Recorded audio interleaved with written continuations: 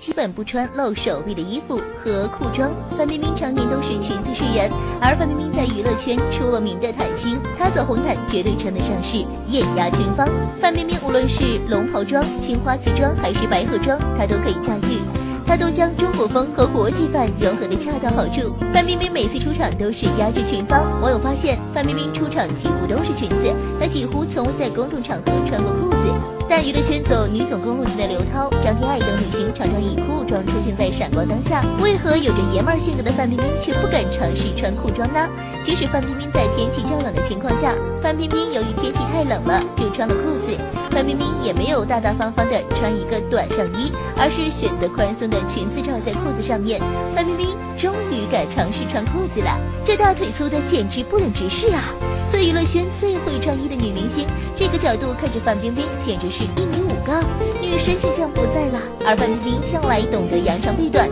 知道自己胯宽腿粗，她就选择用裙子遮盖自己身上的缺陷。这么多年来，范冰冰给外界的印象却十分完美。而范冰冰跟李晨在一起后，范冰冰居然脱离了微胖界，瘦成